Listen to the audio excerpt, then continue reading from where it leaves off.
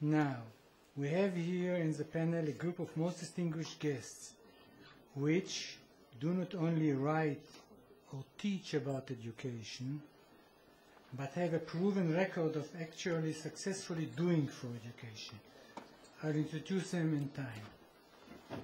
My main idea in this panel is to take advantage of the fantastic opportunity for discussion about tomorrow's education. Hence, we'll try to be efficient. Let us start with about eight minutes of opening remarks for each of us. And I was specially trained to keep the time. There's watches that will watch us, and it will explode after nine minutes. and then 45 minutes of discussion, which will be divided, and about 45 minutes of discu- discussions, which should be divided between opening opening remarks, participant reaction, and the audience question and answers. At least 20 minutes. So I have already used half of my time. So I will be brief. I have already, already expressed some of my thoughts about tomorrow's education in my paper, which was probably distributed. I'm not sure. But indeed, I was asked to write it, and I did. So I did my homework. So, thus, now I will only raise four paradoxes that education is characterized with and that will shape its future. First paradox. Education is faced with the inherent situation that people who were trained in the past teach in the present, chil- teach in the present, teach children who live only in the future. Consequently, consequently, the criteria for success will not be how much you know, but, how, but rather how much you will learn in the future. In other words, schools should be more should be more concerned with education education of learning than, teaching for knowing. The second paradox, at least from a social perspective, education has changed tremendously in the last century, for good. For instance, we had only about 6 to 7 percent from our age group in higher education as compared to 35-40 percent currently. But the disappointment has increased. And if, and if, and if disappointment if reflects the gap between achievement and expectation, I must say that with every education improvement, the disappointment will increase more. Why? Because also education is changing constantly, it only moves in an algebraic pace, while, while expectations are going in a geometrical pace. The better education gets, the higher the expectation, the greater the disappointment. So let's be cautious. This leads, leads me to the third paradox. We know that the education system largely reflects the society it belongs to.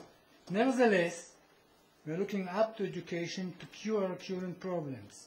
Furthermore, we are too often blaming current education for our own faults, thus trying to solve old problems instead of preparing for new future ones. And the last paradox for today lies in, in technology. Modern technology is considered to be one of future solutions for some of the current education problems. However, technology is not only a solution, but it is a, a problem as well. Technology raises huge ethical and moral questions which can be dealt only with only through human dialogue. We cannot do without technology, but technology proposes new ethical and moral questions that cannot be answered only with technology. Let us move to our guests. I will ask the first one.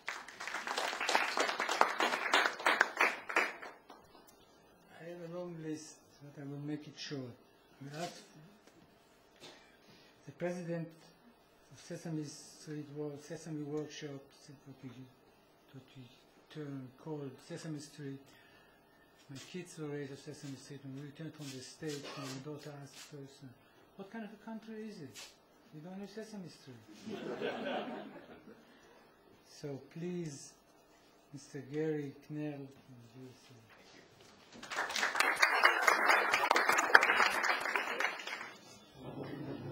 Well, Professor Inbar, thank you, and good afternoon, everybody. I know it's a long day for you guys, so uh, I'll be brief. Um, I just want to give you a little perspective from uh, New York and um, those 300 colleagues of mine at Sesame Workshop, uh, a nonprofit organization which was started 40 years ago uh, out of the war on poverty in the United States with the idea or the observation rather that television was indeed the most powerful teacher, communicator of content.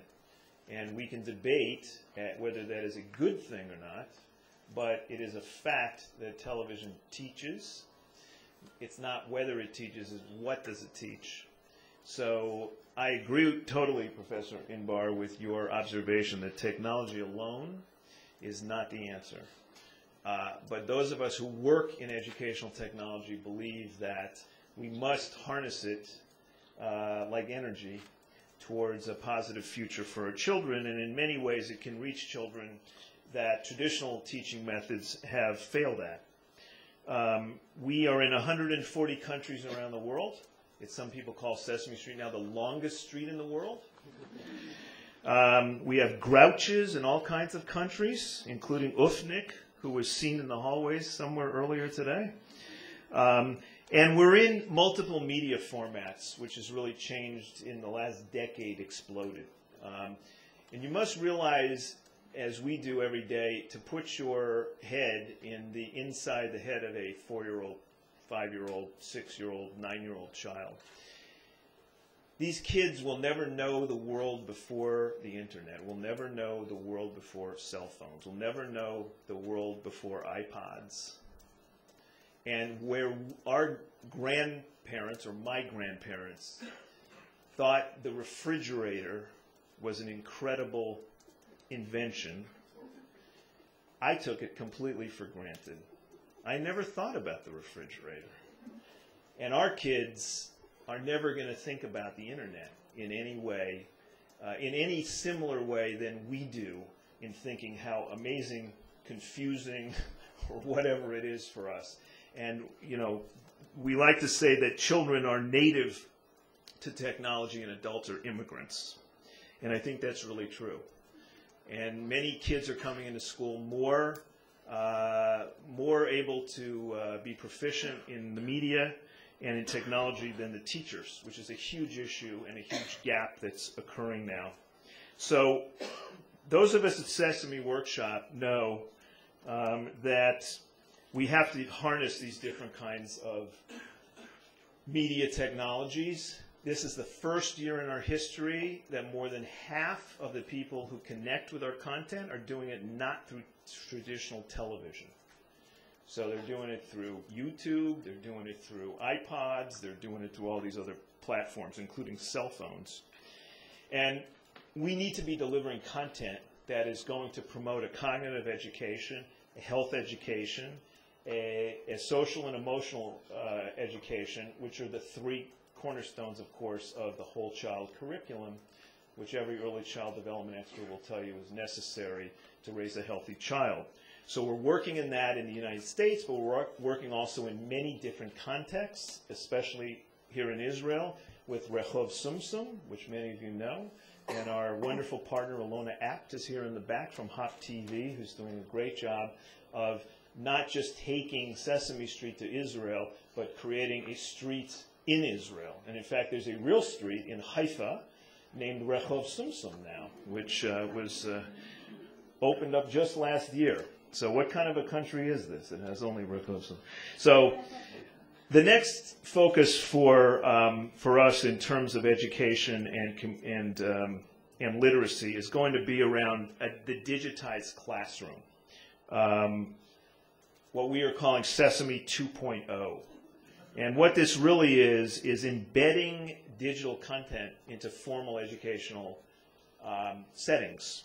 We have 40 years, 4,000 hours of preschool content that has been digitized into biteable chunks that can be embedded in a curric- preschool curriculum inside of classrooms, inside of uh, child development centers, uh, and in, in less formal childcare settings within the home. And we are working now on trying to apply technologies to help parents, to help teachers reinforce the messages through the Muppets, through the live action films and the animations that we've created now for over 40 years. In addition, we believe that a focus uh, is necessary on six to nine year old kids. Um, in the United States, uh, there is a lot of research now that points to the fact that if a child is not um, keeping up in the fourth grade in terms of reading abilities, the chance of his finishing high school just drop off the map. And high school graduation in the United States is the greatest uh, indicator of uh, those who stay out of poverty. So there is a huge investment that needs to be done and, and attention which needs to be paid towards kids in third and fourth grade between the ages of zero and eight. And in fact, the Obama administration, in their new platforms, has now defined early childhood education as zero to eight. And this is the first time this has ever been done. And I think what it will give us is a longitudinal, uh, holistic ability to address the needs of kids from very small children all the way up to eighth grade, eight-year-olds rather, which is totally critical in order for them to succeed in school and then go on to be productive citizens. Um, we can harness the power of technology. We can harness the magnetic attraction that children have to new technologies like video games. Uh, and there's no reason why these things cannot be teaching tools rather than simply war games or misogynist um, games. We next week will be at Google in Mountain View, California, with 250 um, people who are leaders in the field of technology to try to inspire them to focus on engaging children with educational curriculum through the entertainment power that they've been able to create. And we, we're gathering an incredible group of people from the U.S. Department of Education to the head of Google, people from Apple, people from all over Silicon Valley, a number of foundations who are coming together to try to really see if we can get a holistic focus on moving the needle in digital media towards education. So that's a quick summary um, of how we're approaching our work in our what we call our 41st experimental year. And um, I look forward to the dialogue, and we're very uh, grateful to be welcomed here in Israel. Thank you.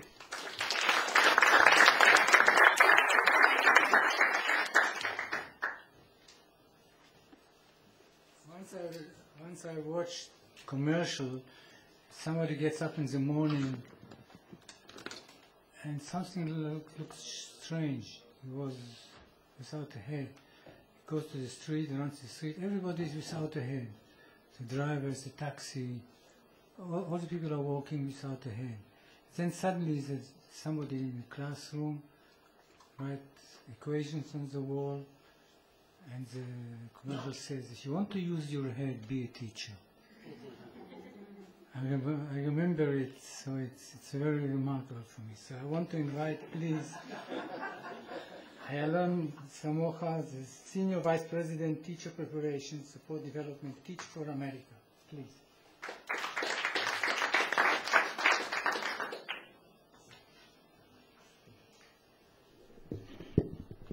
Thank you. Um, I'm very honored to be here and uh, to give some perspective on the question uh, does the education system need re-educating? Um, before I make my comments, uh, I want to just uh, be open about what perspective I'm bringing to the conversation, so you know what lens uh, I have.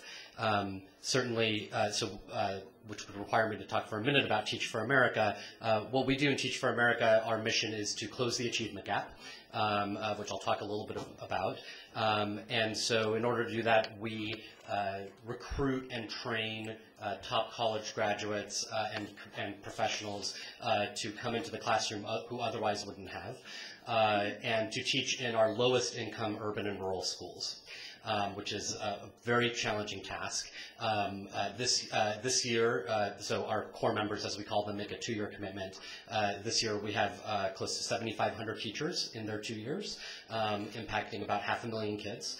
Um, and our hope is, uh, and now we've seen this in action since we've been around for 20 years, is that um, people come to the program, learn that it is a solvable problem, uh, and then will go out and fix the problem, um, whether they stay in the classroom uh, or uh, run schools or run systems. Uh, and indeed, we now have uh, examples of very successful teachers, principals. Um, Michelle Rhee, who uh, was just picked as the chancellor of the DC schools, um, was a Teach for America alumna. Uh, and so uh, this is sort of our theory of change. So um, I think it's important to note that because um, I have my perspective is limited to the United States. Um, it's focused very much on the achievement gap, uh, and I think a lot of the things I'll say likely have overlaps in Israel uh, and in other countries across the world, but the education systems are more and less broken across across the globe.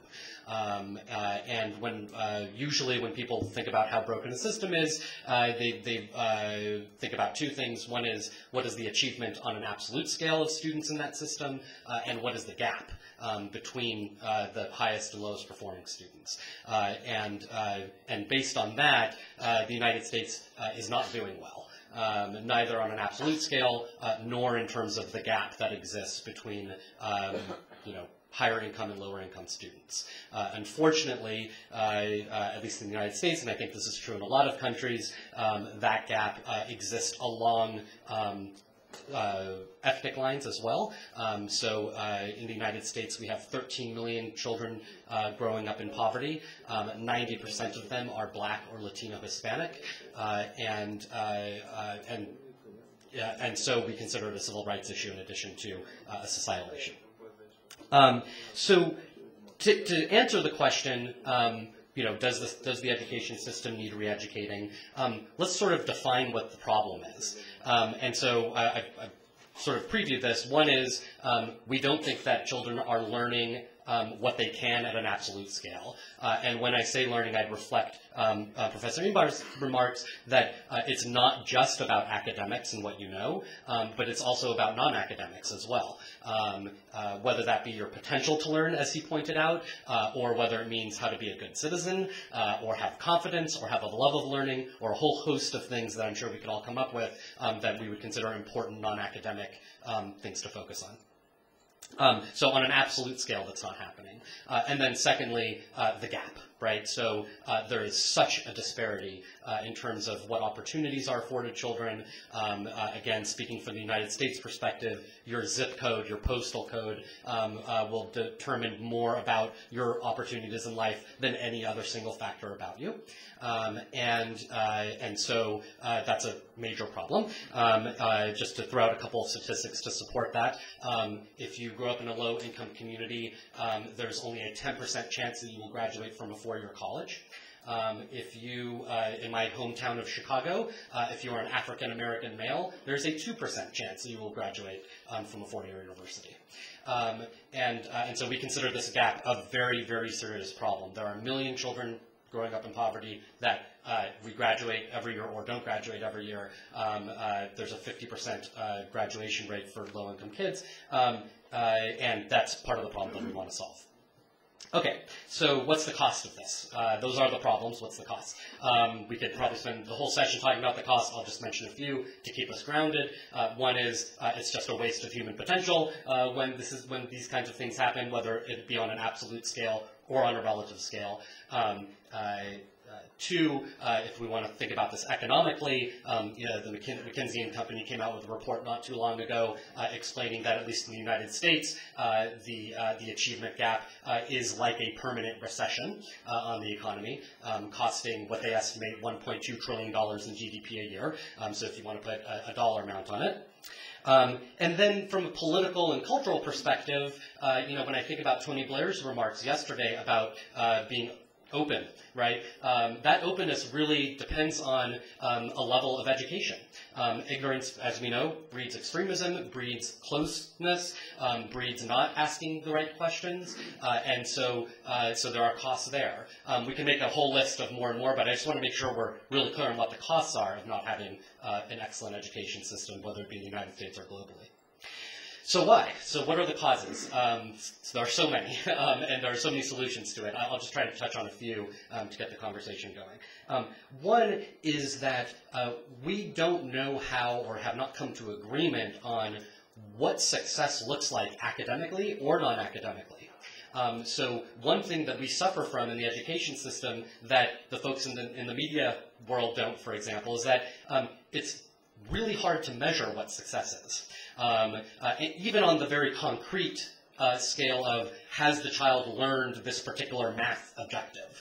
Um, because is are the questions we're asking really testing at the highest level of uh, of, of, rigor? Um, I, is, is it is there a way to ask the question in a different way, etc. So the way we measure success is a big problem, um, and and we haven't figured out how to do that. Uh, so there's a bunch of solutions we should probably explore there. Um, secondly, and at a very related point, because we can't measure in, in, in an agreed upon way, we can't say what works and what doesn't uh, in any absolute way. And so this has a cost because anything that works um, is very hard to scale up and share across um, classrooms and schools um, because uh, whether it worked or not is kind of up to people's opinions on some level, right? Um, and then in terms of the innovations we need, so the technology, for example, that, uh, that Gary just spoke about, um, uh, in, in, order to spread and scale those kinds of innovations, um, we need to be able to say, hey, look, that worked. In a, you know, we measured it, it actually works, um, and everyone should do it there. Um, or this one didn't, and so we shouldn't do that one. Um, and so that's a related problem. third uh, is, uh, is a human capital issue right? So um, literally, do we have the energy of all of the best and brightest people on this problem? Um, whether that be at the classroom level, at the school, running the school level, or the system level. Um, and these are the people who, of course, would do all the innovations that we're talking about and spread the practices that work uh, and get kids to reach their potential. That's number three. And number four, and this is the final one uh, that I'll leave you with, is um, that we have uh, an issue with what the prevailing ideology is of whether or not you can get kids to reach their potential. Um, and particularly through the lens of the achievement gap, um, at least in the United States, um, there, we, somewhere along the way we mixed up cause and effect. So uh, there are a lot of people who think, well, poor kids can't learn, right? Um, instead of, well, actually, the education system is such that poor kids aren't learning. Um, and, uh, and when you have a prevailing ideology uh, that suggests that it's it's poverty's fault or it's the kid's fault, etc., um, you don't have the political will or the resources uh, to make the changes that you need to make. And so the way to fix that, of course, is to prove that that's not true, um, which a lot of people are trying to do at the classroom level, at school levels. There are now 200 to 300 schools in the United States, um, many of them charter schools, um, that have graduated massive amounts of low-income kids, um, uh, gotten them to even finish the baccalaureate program, which is, uh, you know, at, by international standards, the highest level you can achieve. Um, and they've done the impossible. Now, we need 10,000 schools like that in the United States, so 200 is not enough. Um, but, uh, but at least it's starting to show actually, it's not the kid's fault. Um, uh, if you put the right teacher in the classroom and have the right uh, school uh, and connect with the parents in the right way, you can make this happen. Um, and so that's what gives us hope to do the work we do, and I think is very much part of what we should be discussing in terms of uh, re-educating the education system. Thanks for giving me your time.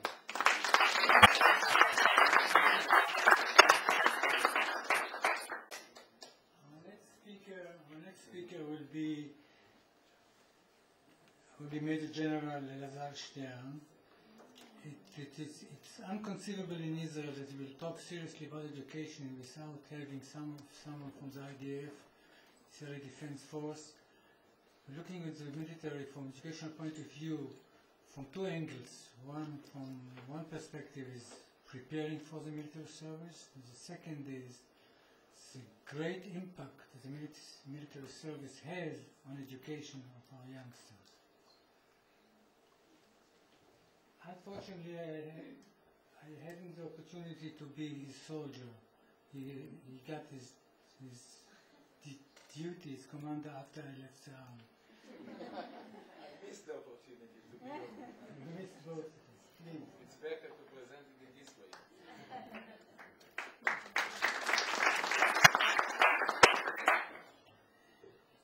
אני כמובן אה, אתחשב באורחים שלנו שבאו לישראל, וחלק מהחוויות שלהם זה גם לשמוע את השפה. אה, אז אני אה, אדבר בעברית, ראיתי שמצוידים בסדר אה, בשביל זה. כיוון שפרופסור ענבר דיבר על התפקיד של הצבא ועל ההשפעה של הצבא אולי כחלק ממערכת החינוך, נרצה או לא נרצה, אה, בתוך החברה בישראל, אז אני אה, חושב שאולי זאת הזדמנות לקחת את המושג חינוך לדרכים, לצערי, מפרידות, שאנחנו מחזיקים אותן פה בתוך המערכת. אבל לפני זה, אנחנו אוהבים להיות מוטרדים, ואנחנו אה, משווים את הנתונים שלנו מול נתונים של מערכות חינוך בארצות אחרות, ונהנים להלקות את עצמנו אה, הרבה מאוד פעמים. אבל כשאתה מסתכל אה, מצד אחד על עד גיל 18 מה קורה לנו, ומצד שני כשאתה לוקח אחרי זה את ההישגים של המדינה אה, במדע, בטכנולוגיה, במה שרוצים, אז יש פה סוג של אה, פער שאנחנו לעיתים מתקשים להסביר אותו. אז אחד ההסברים, שאולי יש בו מידה של אמת, שהמבחנים עד גיל 18 הם מבחנים של הממוצע. ואנחנו מתחרים בממוצעים, אבל האמת היא שאנחנו מודדים את עצמנו לא רק בממוצעים. אבל ייתכן שהסבר נוסף זה באמת החוויה שהנוער שלנו עובר בצבא. זאת אומרת, שכשאתה בא אחרי כמה שנים להיות מדען או מהנדס מצטיין, אז מה שמשפיע עליך זה לא רק הציון במתמטיקה או בפיזיקה שהיה לך, אלא איזה ערכים אה, מלווים אותך, איזה יצירתיות אה, ניחנת בה או רכשת במהלך הדרך, איזה אחריות לימדו אותך לקחת אה, ועוד דברים כאלה. אני מוכרח להגיד אה, כאן בפתיחה שאולי כמו ארצות אחרות, אבל בטוח שאצלנו זה מודגש יותר, אנחנו לא רוצים רק אה, לחנך אה, שהסטודנטים שלנו יהיו מצוינים, או התלמידים שלנו, אנחנו רוצים שהם יהיו מצוינים כאן. גם אם יעשו סיבוב אה, בעולם, באוניברסיטאות אחרות, או במעבדות אחרות, או בחברות הייטק אחרות, אנחנו רוצים ששם זאת תהיה רק תחנה. אני חושב שההסתכלות על הרצון הזה או על המטרה הזאת היא צריכה אה, להתחיל מתוך אה, מערכת התיכון שלנו. עכשיו, דובר פה גם קודם על השימוש במדיה לתוך מערכת החינוך. אני חושב שאין לנו ברירה. אני אגיד למה אני מתכוון. אני חושב שה... דיברתי קודם על סוג של הפרדה מלאכותית. אנחנו במערכת החינוך, ואני צריך להודות אה, גם על ההזדמנות וגם על האמת. אני הייתי מורה בתיכון. הכותרת שלי הייתה מחנך. אני חושב שזאת בעיה אה, קשה. אני רוצה לומר שאני לא יודע אם המורה לפיזיקה או, לבי, או המורה לביולוגיה חינכה פחות ממני. אני גם לא רוצה לתת לה את הפטור הזה, כמו שלעיתים אנחנו נותנים, וזה קשור לטלוויזיה, בגלל שגם הטלוויזיה, למרות שהיא לא רוצה לחנך, היא מחנכת. רוצה לומר שיש הרבה מאוד סוגים של חוויות, אבל כיוון שהרגע עוסקים בתוך מערכת החינוך, אז אני אגיד שמתרחשים בתוך בית הספר, שהם אה, מעצבים או מחנכים גם כשהם לא רוצים. המורה לגיאומטריה, שמלמד על שלושת התנאים לווידוא חפיפת משולשים, שצריכים להיות אה, זווית, צלע זווית, או צלע זווית, ואומר אחד התלמידים לחבר שלו, שתוק ירוסי תחזור לאיפה שבאת, מי צריך אתכם פה? מאז שבאתם רק צרות. המורה יש לו שתי אפשרויות להגיב. אחת להגיד, הרעש הזה מפריע לי, אני רוצה שתלמדו פה עכשיו על uh, uh, התנאי השני למשולשים חופפים. הוא יכול לזרוק את הגיר ולהגיד, זה לא מעניין אותי, uh, תשכחו ממה שכתוב על הלוח, יש פה איזשהו עניין. מה אני רוצה לומר? באיזה משתי התגובות שלו הוא העביר מסר מעצב יותר? אני חושב שבשתי התגובות הוא העביר מסר מעצב. גם כשהוא זרק את הגיר ואמר אני מפסיק את השיעור, יש דברים יותר חשובים, וגם כשהוא אמר הרעש הזה מפריע לי, תתרכזו בלוח, הוא העביר מסר שאפשר לדבר ככה. בהתחשב בכך שהמורה המקצועי ברוב מערכות החינוך שלנו יש לו פוטנציאל השפעה או הזדהות הרבה מאוד פעמים יותר גדול מהמחנך, לסוגי התנהגויות האלה אין לו פטור מהם. ואני אומר, גם אני בתור בית הספר לקצינים, כשהרמתי את היד, ביקשתי להרים ידיים ושאלתי תלמידים מי הדמות שהשפיעה עליך הכי הרבה בתיכון, האם זה המחנך או מורה מקצועי, תמיד למעלה מ-70% אמרו אחד המורים המקצועיים. רוצה לומר שהעיסוק שלנו עם המורים המקצועיים, אם אני רוצה לחבר את זה למה שאמרתי קודם, שאנחנו גם רוצים שהמצוינים שלנו יישארו פה, אנחנו צריכים להסתכל עליהם גם כמחנכים. ולא יודע, אולי נגיע לאיזשהו זמן שלא תהיה פה כותרת של מחנך. אולי יהיה מרכז כיתה, אולי יהיה משהו כזה. אבל אם זה יעזור לתחושת השותפות בחינוך, אז הצלחנו. אני חושב שבכלל, הרי כשמדברים פה על חינוך, מדברים על... טכ... אצלנו יש הפרדה, אבל המושג education אה, בחוץ הוא מושג שמתכלל את כל הדברים האלה אה, יחד. ופה אני רוצה גם להגיד משהו שאני חושב שזה קרב אבוד, אבל כדאי שנדע אותו. ערוץ 2 מחנך אה, לא פחות מהמורה לכימיה. הוא לא רוצה לחנך, הוא רוצה לעשות כסף. זאת כמעט המטרה שלו. אבל פעם שאנשים מסתכלים על מה שמתרחש שם, הם מושפעים.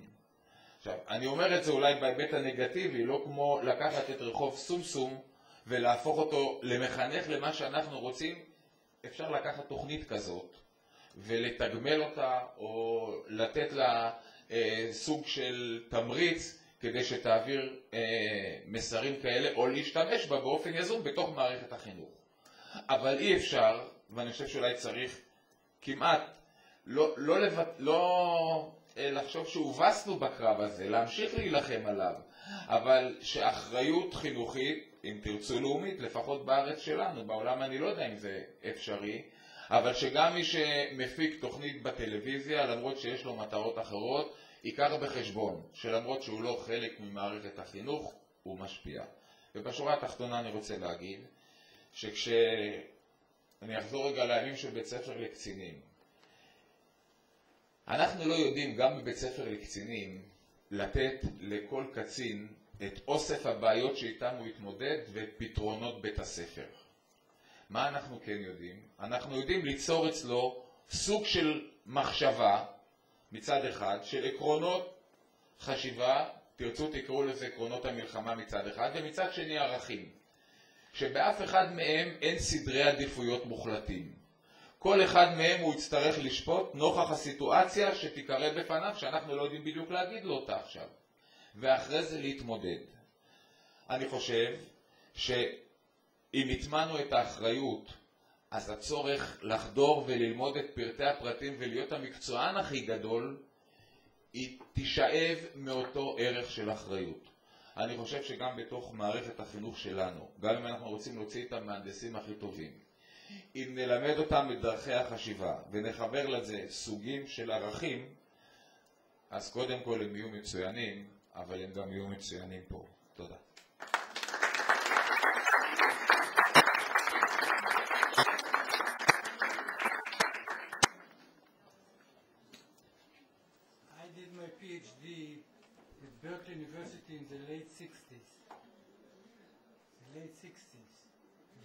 Remember what late 60s, 60s were. were. So hippie was for me something very concrete. then when I came to Hebrew University, I realized that hippie is something else as well. So I want to invite Miriam uh, Executive Director and President of Home Instruction and Parents for Personal Youngsters HIPPY Program. Director of the International Network of the HIPPY Program. Please.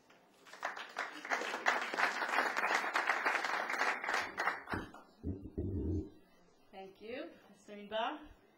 And when I first took the job, my mother said, hippie, I thought we finished with that stage.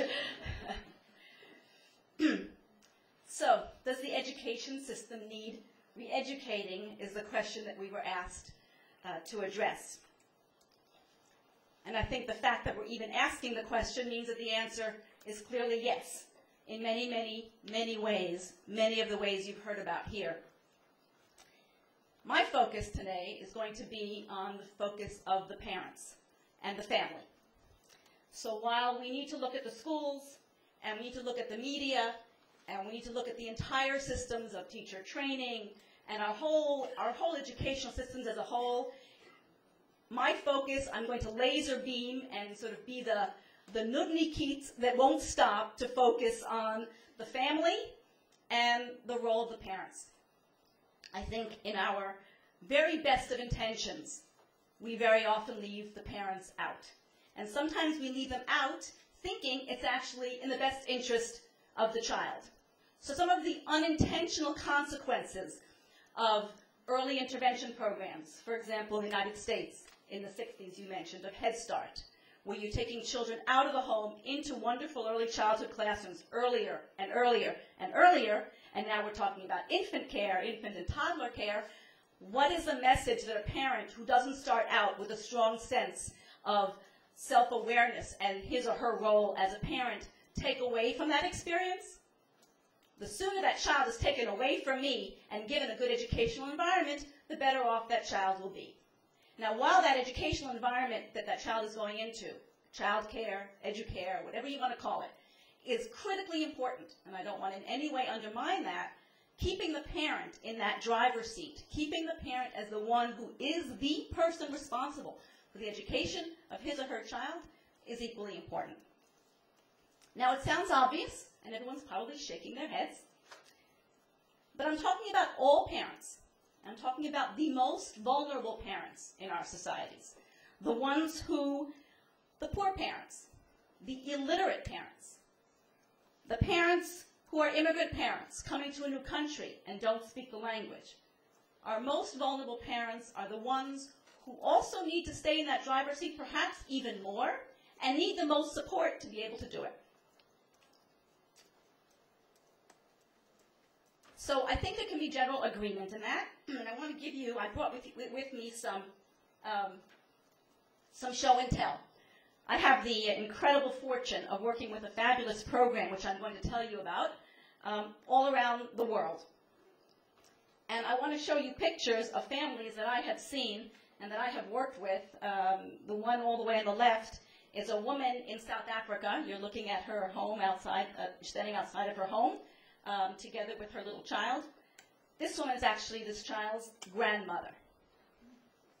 And when I went into this home, this woman took out a little box of activities that we brought into the home through our program that you'll hear some more about. And she said, I want you to understand this education program that you're bringing to me, this here, this is called the future.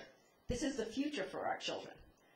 On the right, you'll see a home visitor doing a little, doing a program activity, and I'll tell you some more about it, what the activities are all involved with. But I wanted to give you a flavor of the kinds of families, the kinds of settings that we work in. This is a family here in El Salvador. These are all parents who we believe strongly in, who we want to motivate, who we want to support to be the educators of, of their children.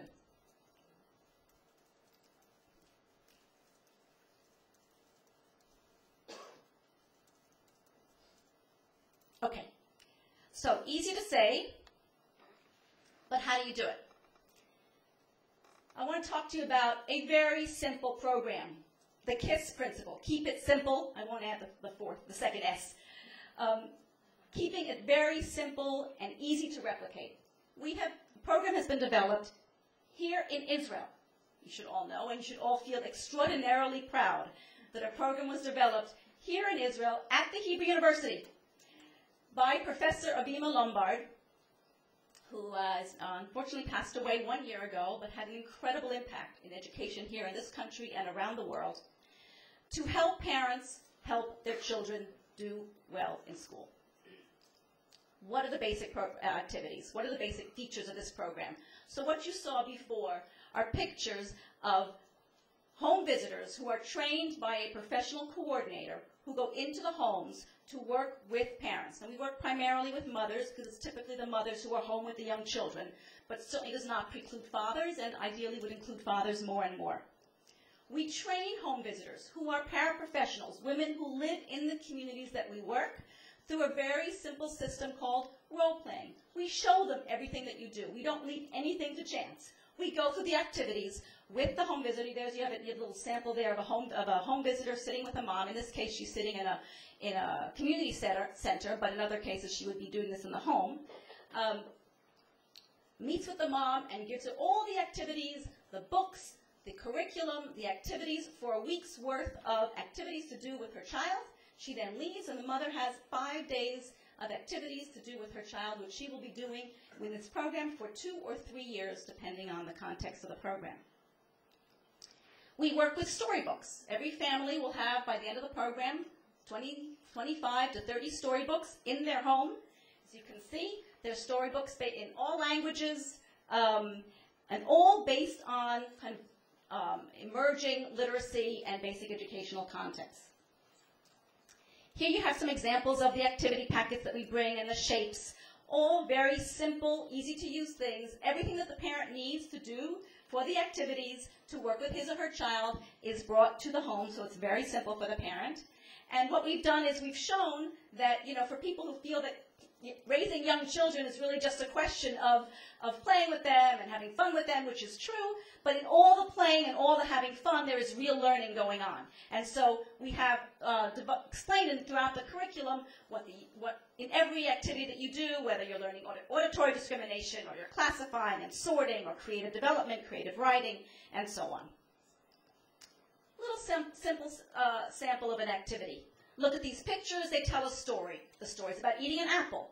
Listen while I tell the story. One day I was hungry, so I took a bite from an apple. Then I ate the whole apple. You break up the cards, you give the cards to the child. The child tells the story back, and you play a little game of telling the story. Very simple, very easy, very important to give parents these kinds of really basic tools to do the kinds of activities that parents who come from more educated backgrounds would be doing. We also have group settings. We have parents who meet together in groups to provide support and training and um, uh, share, share common concerns uh, and questions. Here's a group parent-child activity where parents come together with their children and would do other kinds of activities, again, in a, in a group setting. Now, so educational system needs to be educated always to truly value parents is one point I want to make. Another is that parents who are the most vulnerable are the least likely to engage in these activities and need all the supports that I'm talking about. And the third point is that if you boil a program down to its absolute basics, you can replicate it in many different settings. And that's what we've done through this HIPPY project. We have taken this program down to the absolute core minimum of what we, what we feel is essential for it to be replicated. And as a result, we are able to replicate it. And in all the countries that you see here, we have a growing program in Canada, a hugely growing program in, in Australia, just got $34 million from the government to spread it across the country. Growing in Europe, a large program in Germany with, with programs growing in Austria and Denmark, uh, Switzerland. We are struggling but working very successfully in a program in South Africa and are soon to expand in Ethiopia and Uganda with the support from, uh, from uh, the South African uh, base. Um, and as we expand, you can see we have to adapt ourselves. So these are actually books that came from New Zealand.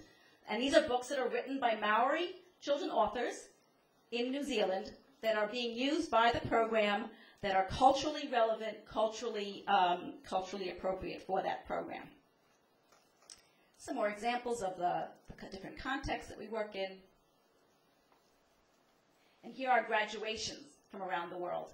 Now, this is very interesting because, you know, if, if any of you are in early childhood education, then you know that people in early childhood say that children shouldn't be doing graduations, they shouldn't be sitting in caps and gowns, it's developmentally inappropriate. And so, coming from a, a strict early childhood background, when I first went and saw a graduation, this was actually in the United States, and I said, you know, you know, children shouldn't be sitting in these kinds of contexts, and it's inappropriate. Why should they sit for so long, listening to these long speeches?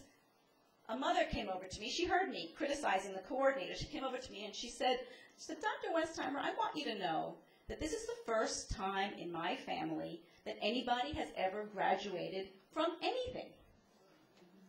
And this is really important to us. So all these graduation ceremonies, I learned my lesson, one of many, many lessons that I've learned from working with parents around the world, um, that learning, working in a cultural context, doing the kinds of activities that parents value.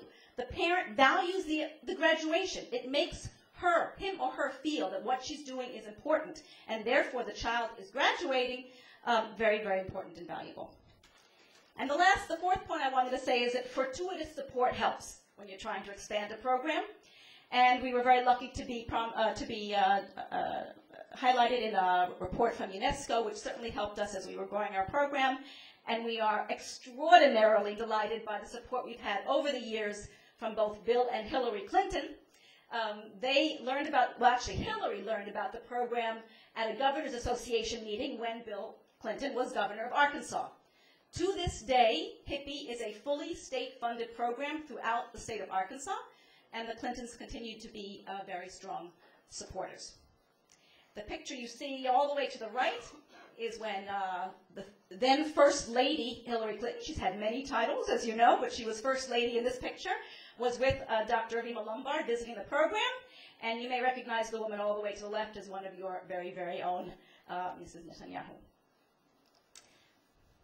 And there you have a child with all of her activities, and I just want to re- reiterate the point that as we think about the educational system, HIPPY is one example of a program that brings a parent in the driver's seat. There are many programs like that. It's the one that I'm most involved with and I know best and I'm talking about today. But in all cases, we have to always remember that the parent is the person who is the first and most important teacher and critical to the child's success in education.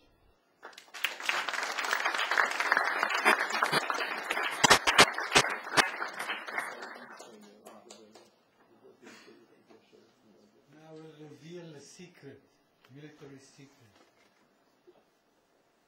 I trained together with Shimshon Shoshani, officers in the military service, to be leaders. Shimshon Shoshani and myself trained together leaders, leadership and officer courses in the military service. So it's a secret. Don't tell anybody. I want to invite Shimshon Shoshani, who was, was the head of Taglit, Right, Director General, Director General of the Jewish Agency, and far, as far as I know, he's the Director, Constant Director General of the Ministry of Education.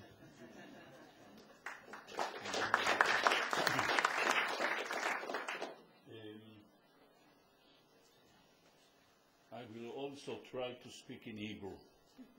It's a chance for me. אה, רבותיי, המציאות, או האור כאן לא טוב, המציאות אה, בסביבת מערכת החינוך משתנה באמת במהירות גדולה, וכפי שנאמר בכותרת הכנס, אה, עולמות אה, ידע מתיישנים במהירות ומסגרות ערכיות עוברות זעזועים ומערכת החינוך צריכה להתאים את עצמה למש... למציאות המשתנה.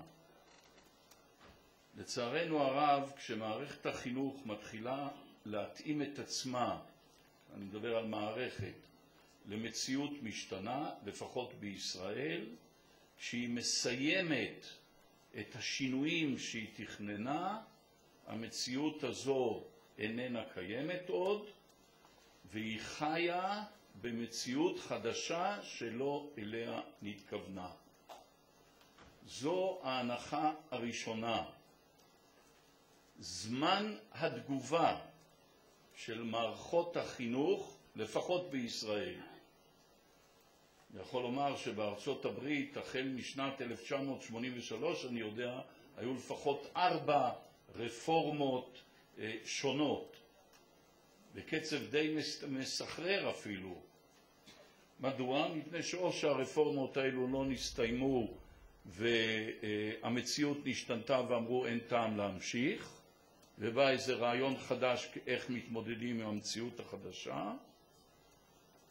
בישראל, בדרך כלל, אנחנו ממשיכים, זמן התגובה שלנו ארוך מאוד, וכשאנחנו מסיימים את השינויים שהיו על רקע של תקופה מסוימת, של מציאות מסוימת, המציאות הזו איננה קיימת עוד. אה, הדוגמה הבולטת ביותר אצלנו היא רפורמה אחת ויחידה גדולה שביצענו מערכתית במערכת החינוך בשנות ה... על רקע המציאות החברתית שהייתה קיימת בישראל בשנות ה-60, לרפורמה שהתחילה להתבצע בשנות ה-70, לא נסתיימה עד היום, אבל היו לה הישגים מסוימים, כי מה שקרה בשנות ה-60, שלא כל תלמידי בוגרי בית הספר היסודי המשיכו לחינוך העל-יסודי, וכוונת המערכת הייתה לתת אפשרות לתלמידים להיכנס לתוך מערכת החינוך העל-יסודי, הוסיפו שנת לימוד אחת חינם, ובנו תוכניות לימודים חדשות, הכשירו מורים, והקימו מבנה חדש למערכת החינוך. בתי ספר יסודיים מצד אחד וחינוך על-יסודי מצד שני. ואני אומר, המציאות נשתנתה לגמרי כבר אחרי מלחמת יום הכיפורים. המציאות שלנו נשתנתה לגמרי. ושינויים שתוכננו לחמש שנים, לביצוע בחמש שנים, לא נסתיימו עד היום. כך שגם שינויים אחרים במערכת החינוך, לפחות בישראל, כשהם מסתיימים, הם מגיבים למציאות שאיננה קיימת עוד. זו נקודה מספר אחת. נקודה מספר שתיים קשורה בכך שגם כשיש לנו הצלחות בתגובה למציאות מסוימת, לסביבה מסוימת, הרי שאם אנחנו מצליחים, ההצלחות שלנו יוצרות בעיות חדשות. כל הצלחה יוצרת בעיה חינוכית חדשה. ניקח אפילו לדוגמה את אותה רפורמה, ואני אומר, היה הצלחה עצומה. היא הגדילה את שיעורי הלמידה במערכת החינוך בישראל, ואם אני מסתכל לאורך השנים, היום אני חושב ששיעורי הלמידה בישראל הם בין הגבוהים ביותר בעולם. כלומר, מספר התלמידים הנמצאים בתוך בתי הספר. הישג בלתי רגיל.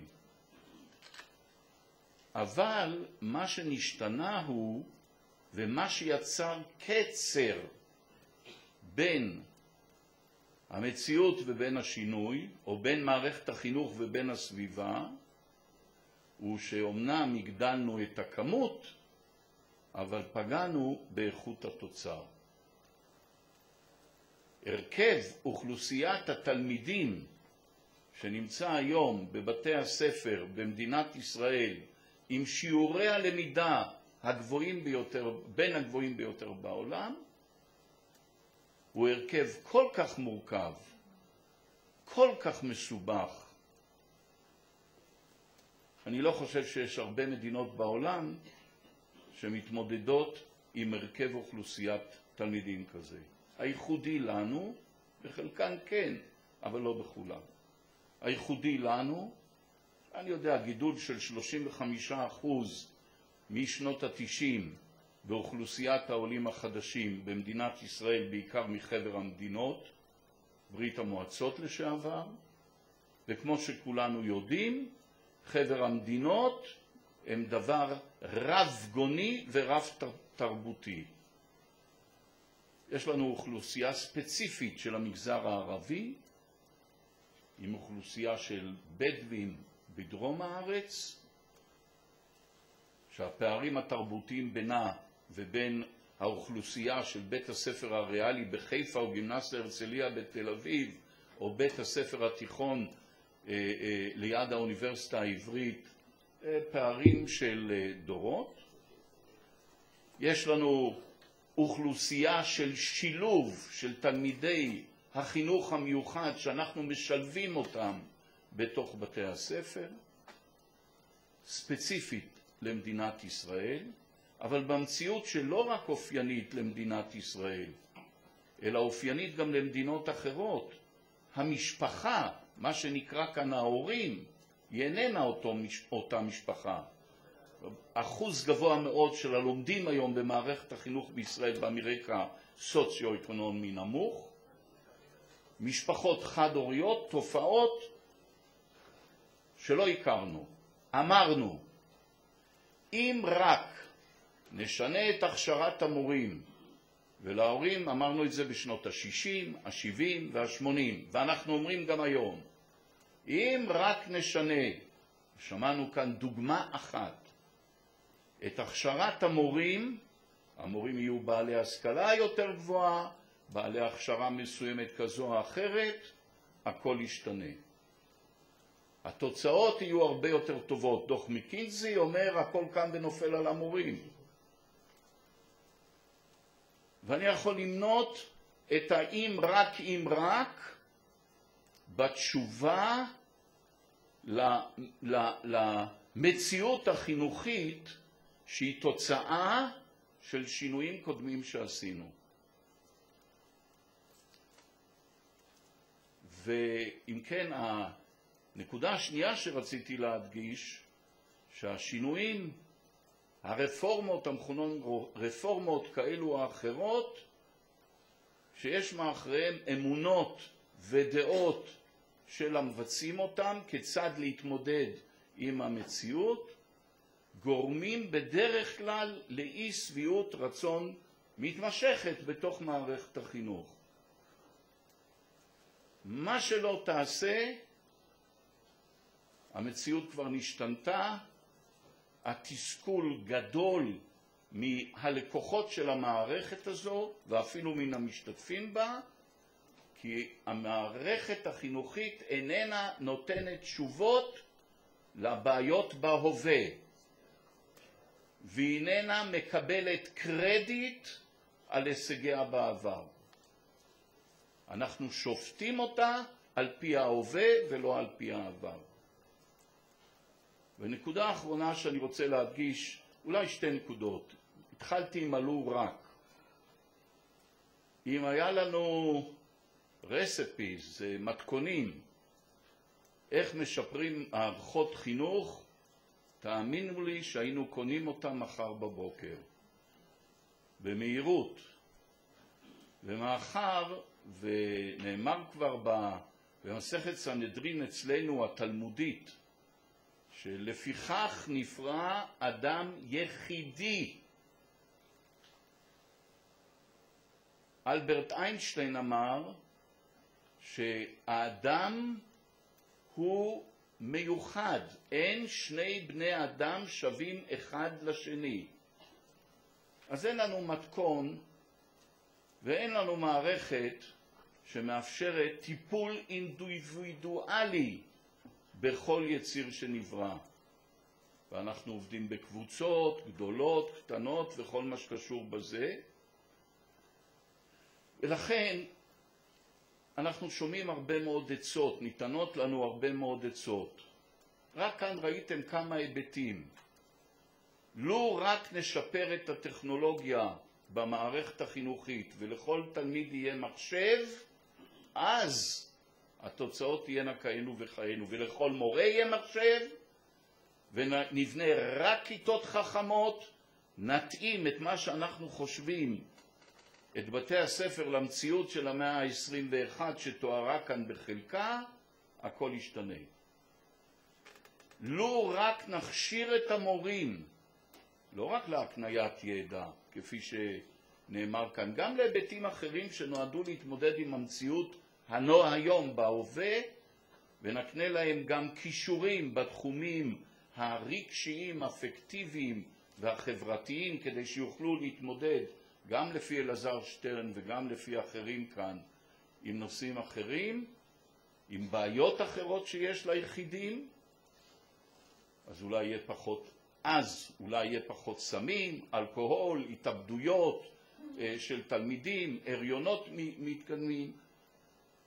הכל תלוי בציפיות של מממני החינוך, של קובעי המדיניות מן המערכת הזו, ומה אמונתם שהמערכת הזו מסוגלת לעשות.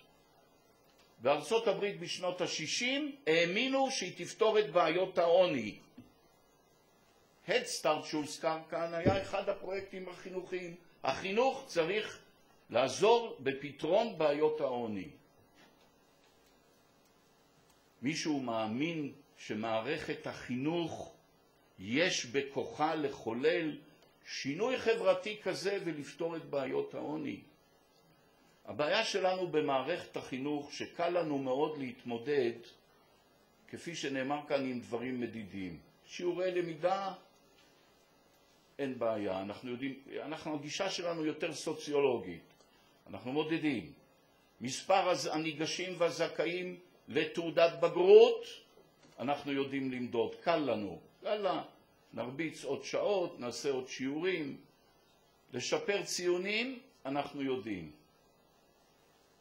אבל מעולם, בישראל אולי פעם אחת, ואני מכיר מאמר אחד בלבד, ואלו שכאן מכירים את מערכת החינוך בישראל אולי יתקנו אותי, מעולם לא התמודדנו עם שאלות פילוסופיות כמו מה דמות הבוגר הרצוי.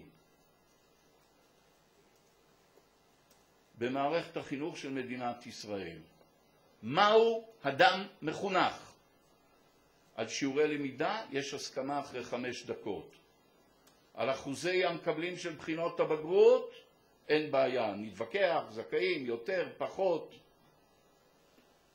אבל מהו אדם מחונך? על זה אין אצלנו הסכמות. מה דמות הבוגר הרצוי? אין אצלנו הסכמות. להתחיל לימודים בגיל שלוש, מפני שבין הגילאים שלוש עד שש המוח תורם את התרומה הגדולה ביותר על פי המחקרים האחרונים להתפתחותו של האדם, תהיה הסכמה. אז מה? מה אנחנו רוצים אחרי חמש עשרה... One one moment, please. Mr. Mr. Samoa uh, mentioned that uh, Tony Blair said that ignorance breeds extremism, and Shimshon Shimoni also, Shoshani also talked a lot about the values that that uh, we face. My question is, how important uh, do you feel it is to educate our kids to become global citizens? Because we're living in a global age, and you can see from the conference that we are. Um, how, in, if we do consider it important, how should we, as an educational system and as parents, encourage um, our children to connect with kids around the world? And what has your experience been? All the panelists in using digital media to create these connections, to create global citizens of the future? uh, I'll uh, maybe give the foundational perspective, and I think there are probably folks that have more perspective about the um, how to leverage digital media, et cetera. But um, I think that uh, it's such a tough question, this tension between, you know, building, and I you know, sort of said it in my remarks about building the global citizen, the values, who's the whole person we're trying to create, uh, and then what are the basic skills um, that you know a, a, a learner needs uh, in order to get there. And and I think you have to ask the question simultaneously. Um, that the most dangerous thing is for us to assume that we can ask the question, uh, the, the sort of higher level, um, what kind of person do we want this learner to be, um, what are the conceptual thinking skills, um, without asking the, you know, what's the math? Do they know how to read or not? Um, and the opposite, right? Just asking, do they know how to read or not, and not asking that bigger question. Um, so uh, the only thing I would inject is uh, that uh, it, the most successful teachers I've seen are those who are simultaneously asking those questions and not falling into one or the other, um, because really, you know, the skills without the values really don't mean much. Um, but you're not going to actually get to that whole learner that we're talking about um, if they don't know how to read. I would just um, add to that and agree with what Ilan just said. Um, the way we look at it is a redefinition of literacies. So I think it's correct that you've got to have a basic literacy of reading and writing, of course, math, uh, mathematics, etc.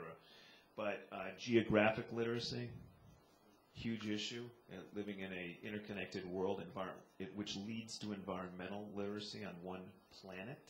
If we don't fix the planet, nothing else really matters at some point.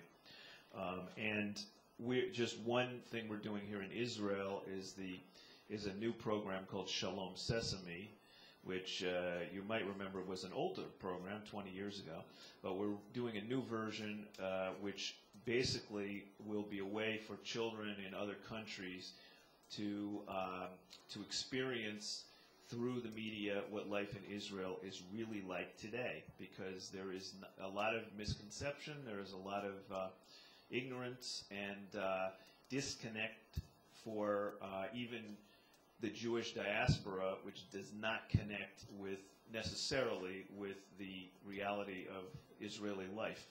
So there are powerful ways through digital media to make those connections, and we're going to be promoting those. Please. Short question, but can I also make a short statement? How The short? short, very short. The short statement is that since I, when I got involved with education, I became very, very frustrated. And now after I got to know the system a little better, I'm much more optimistic. I,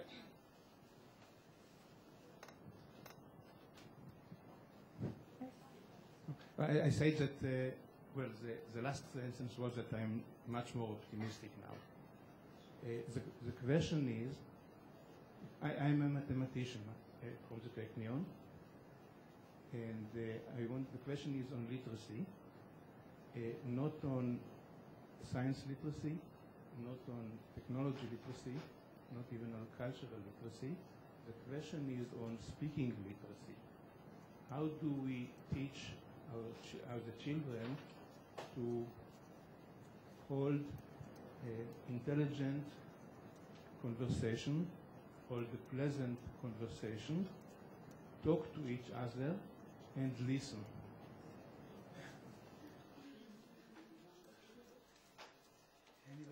Anybody wants to, to listen to this? It's a, it's a bit. Okay. we teach parents to talk to their children.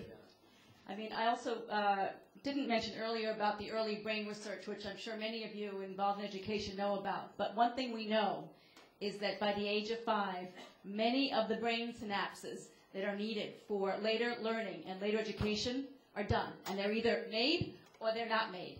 Um, it's a scary thought, actually, that by the age of five, so much is already um, in place. And one of the many ways by the age of five to increase the number, literally the number of brain synapses that are connected in the brain, um, is by talking to children. Not, not all the different educational activities I was talking about, just plain talking to children, children hearing words.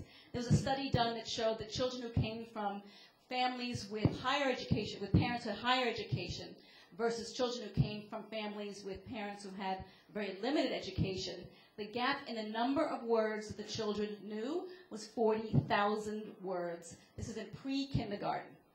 40,000 words difference. So just starting with that kind of basis, I think, is, is, is, is an important point. Let me take the opportunity and be, ask a provocative question.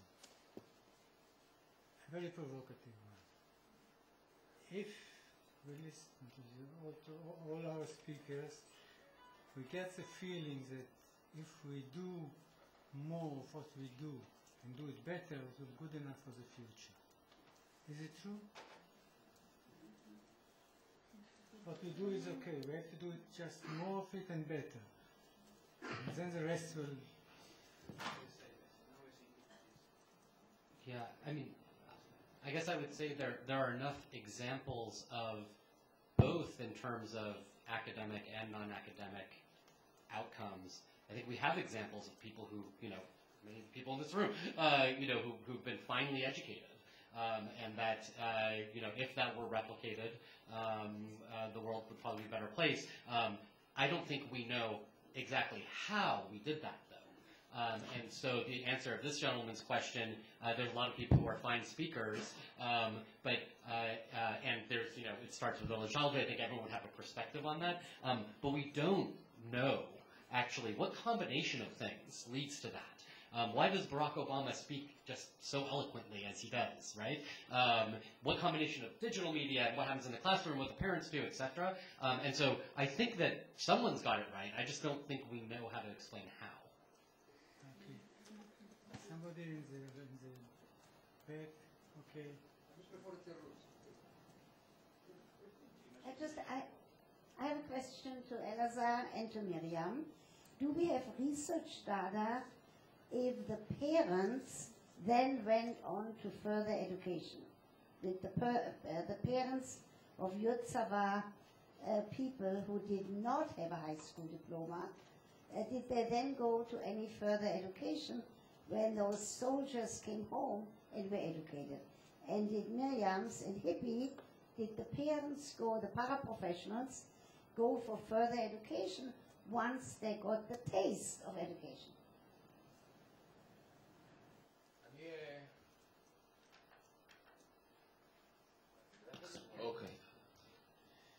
הדבר היחיד שאני יכול להגיד על זה, שאנחנו יודעים, ואולי תוכנית עתידים שלוקחת בעצם ילדים מהפריפריה, ששם מקובל לחשוב שיש אה, הורים פחות, מה שאנחנו קוראים מחונכים. אני חוזר למה שאמרתי קודם, הבעיה היא השימוש באדיוקיישן, משכילים, או שלמדו אה, אה, פחות שנים, המבחנים שלנו הם מותאמים למש, למי שכותב אותם. זאת אומרת, עכשיו זאת בעיה אה, מאוד קשה, בגלל שמותאמים למי שכותב אותם לרמת ההשכלה שלו וגם לתרבות שלו. אה, אה, אני אתן דוגמה קצרה, אה, לפני שאני נכנס למדדים עצמם. אה, אם אתה לוקח ילד אתיופי ואתה אומר, הוא אין לו ביטחון עצמי, הוא בחיים אה, לא יסתכל, אה, נגיד, למפקד שלו, למורה שלו בעיניים. ואתה קורא לו בגיל 18 או 19, ואתה אומר לו, תגיד, למה אתה כזה חלש? למה לא הסתכלת לו בעיניים? אז הוא אומר, מה זה נקרא? לאבא שלי אני בחיים לא הסתכלתי בעיניים. עכשיו, אני יכול לקחת את הדוגמאות האלה למבחנים ולהגיד שגם כשאנחנו בדקנו ליחידות העילית שלנו במחשבים אנשים, אני חושב שהפקטור שהיה לאזור המרכז הוא פקטור גדול ביחס לילדים שגדלו בפריפריה. עתידים בא לגשר על זה, במידה מסוימת לתת להם איזה סוג של גישור. עכשיו, למה, למה אני מספר? לא בשביל להגיד משהו טוב על עתידים, בשביל להגיד שהשאלה, קודם כל, היא קשורה אה, אה, בתרבות וביכולת שלנו באמת לבחון את אותם דברים שאנחנו בוחנים. והתוצאות של המבחנים שלנו הם מוטים מהמקום אה, שבו באת, והם ניתנים לגישור אחר כך יחסית אה, בקלות, או אני אגיד את זה ככה, למרות שבנקודה מסוימת, אה, נגיד הילדים שלי, לצורך העניין, אה, ישיגו את הרף, ואולי בחורצ'יק עולה חדש, או אתיופי או בדואי יהיה מתחת לרף, קיים סיכוי שאחרי השקעה באותו פרק זמן הם יעברו את הילדים שלי, בגלל שגרף הלימוד שלהם הוא תלול יותר. רק נקודת הפתיחה היא הייתה נמוכה יותר, זה דבר אחד. הדבר השני, שאני אה, לא חושב שנכון לעשות בזה הכללות, בגלל שאנחנו מכירים כמה אנשים בכל תחומי העשייה בישראל הגיעו מבתים למה שאת קוראת חסרי חינוך, אבל זה לא חסרי חינוך, זה חסרי השכלה, ובמידה מסוימת הערך החינוכי או הערכים החינוכיים שנטו בהם, או התחרותיות, או ההישרדות, הביאה אותם בכל תחומי העשייה, גם באקדמיה, למקומות יותר גבוהים. עכשיו, בשורה התחתונה, אם את שואלת אותי, האם טוב שכמה שיותר הורים בישראל תהיה להם, יהיו יותר משכילים? בוודאי שזה נכון. Has a microphone? Okay, ask but said only to the real who had a question from the darkness. My name is uh. Um, organization called Derech HaTeva that does Jewish outdoor experiential and environmental education here in Israel. Um, I guess this is more questions more related to people who are involved in formal education. Um, if most people have had the experience of seeing a young child, one, two, three, learn something, nothing can make them happier than learning something. There's a human natural joy in learning that unfortunately sometimes goes away when you go to school. And and, and if we're talking about what's an educated person, I think there are many answers. One answer is that realize that learning is a lifelong process. What can schools do? I'll, say, I'll be in Israel because I live here and I care about Israel right now. What can schools do to instill this love of learning and realizing that learning does not stop when you graduate from high school?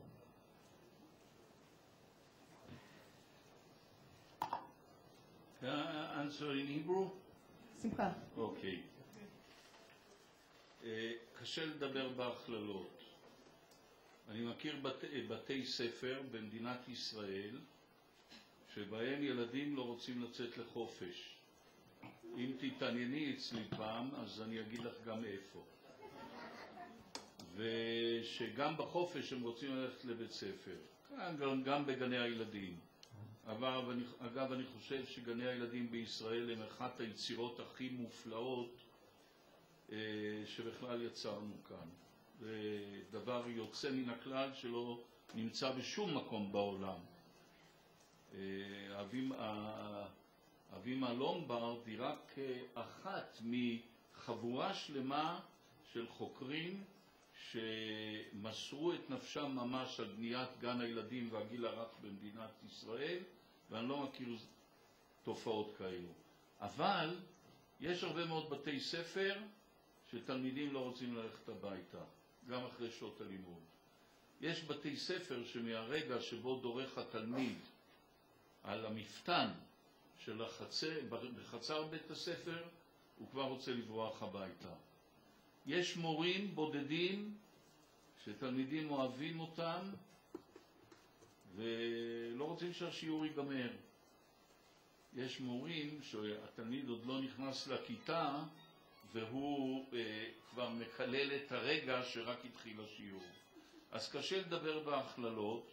אני מכיר מוסדות מתחומים שונים וברמות שונות שהם פאר היצירה, עם הרבה מאוד גמישות, אבל אני רואה במה מתחיל ומסתיים העניין, במילה אהבה.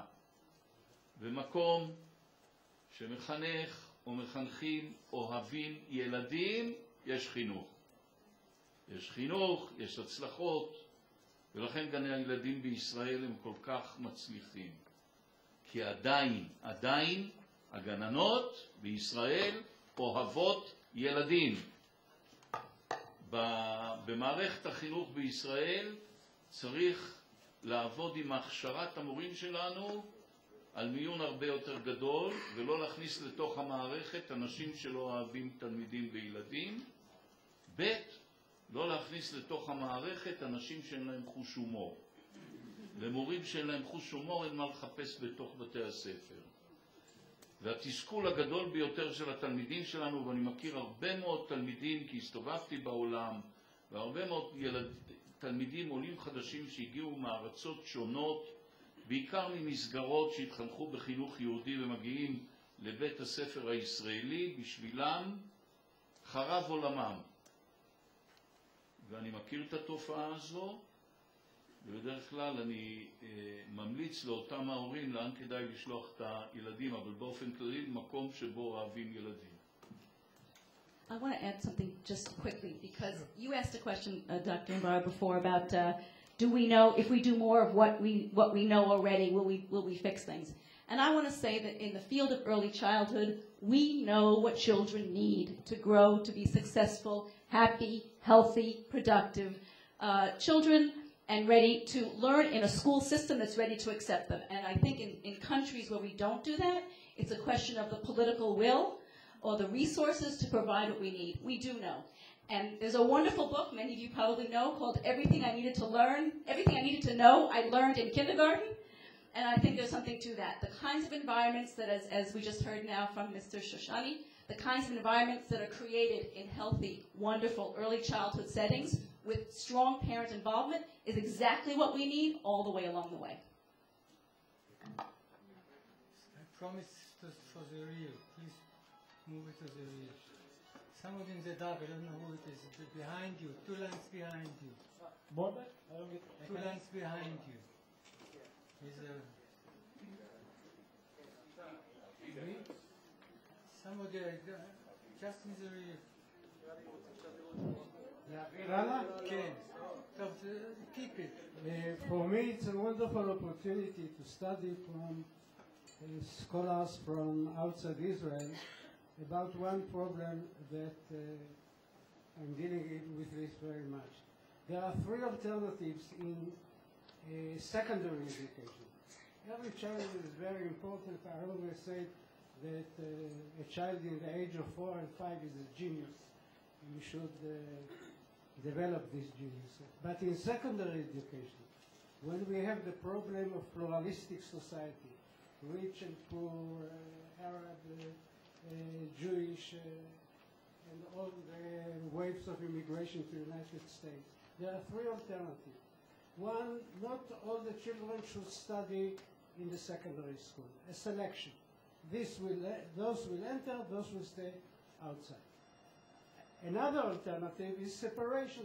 Take the intelligent children, take those from the rich uh, background, and have for them one school, and for the underprivileged uh, strata of society another school. I'm against these two elements. I'm for integration, studying together in the same class or at least at the same school. What are uh, your successes if you take the idea of integration in the United States? Down. There, there are so many angles to that question. Um, some of it, I think, goes back to the love of learning, where uh, in an integrated environment, there's the potential for uh, uh people, uh, children to learn from those around them who may have more of a love of learning uh, certain kids didn't pick it up along the way. Um, I actually, I think there's a lot of educational value to the question, um, but I'm going to add just one political perspective to it, which is that um, one of the things about immigration that if it would work is that um, uh, part of the problem, at least that we experience in the United States, is that, um, uh, and this goes to parent involvement, um, uh, public schools in, in higher income communities are better because you know, the, the higher income kids go there. Um, and if there was an integration, there would have to be a bit more political will to fix all schools uh, and not just those that are uh, in high income communities. Um, so uh, I would just offer that as one one perspective on that. But I, I too am for integration for multiple reasons. That's one of them. One more quick question, short quick question. So where's the microphone? It seem to be working. Okay, now it's working. Um, hi, um, thank you very much for um, what everyone's been saying. I'm interested from a Jewish perspective. We love our buildings. Um, we love our plaques on the walls of buildings. And yet, when we've been talking about reimagining the education system, nobody here has talked about wonderful building environment where we should be doing our education. We can learn in the home, we can learn um, watching television, we can learn in so many different ways. How important are buildings going to be to education going forward?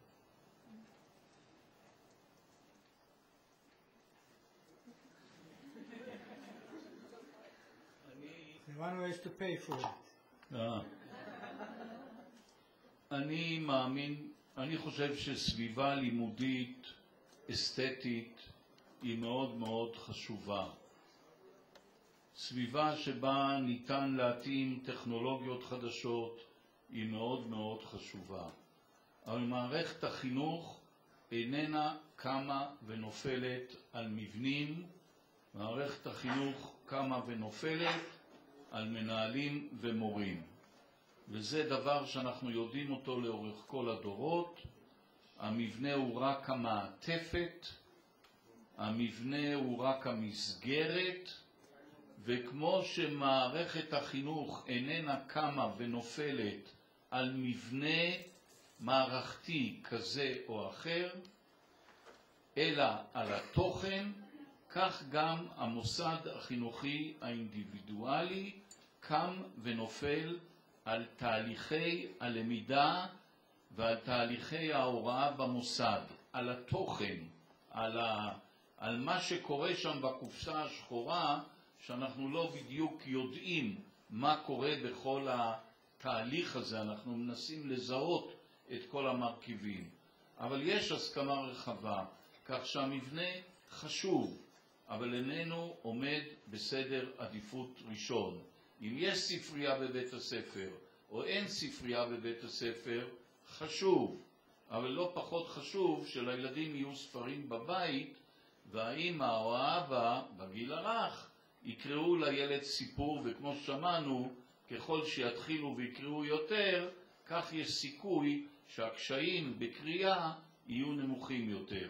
אם הוא לומד בגן ילדים שנבנה לפני 60 שנה, או נבנה לפני שנה, הגן יהיה לגמרי שונה, כי אנחנו מתאימים את המבנים למציאות. אבל מה שיקבע לגבי הצלחתו בלימודים, התוכן, הגננת, ולא דבר אחר. I would add that, uh, just uh, two seconds, that I've been in many beautiful buildings in the United States uh, that where not a lot of learning was going on. Uh, and so, and also I'll just add, if there are more questions, I'm personally happy to stay and talk for a while if people have questions. Is this Can, can I just? Can I mention one thing? Um. I- Just putting this together in hearing you all, the fact is, is that, it- speaking for the U.S., I can't speak for the Israeli schools, but for the U.S., the system is not working. So I would challenge that assumption. There's 30% of kids are dropping out of school. In Detroit, 71% are dropping out of school. So these are abysmal, embarrassing numbers. So it's really not a question of a physical setting or a uh, or just about educational materials or just about better teaching. We need all of those things. The problem is a lot of the basic setup of school, I would argue, was set in the 19th century, and it hasn't changed a lot. And it needs a reset for the 21st century. Okay, this brings our session to the end, and I want to thank Gary, Ayalon, Shimshon, and the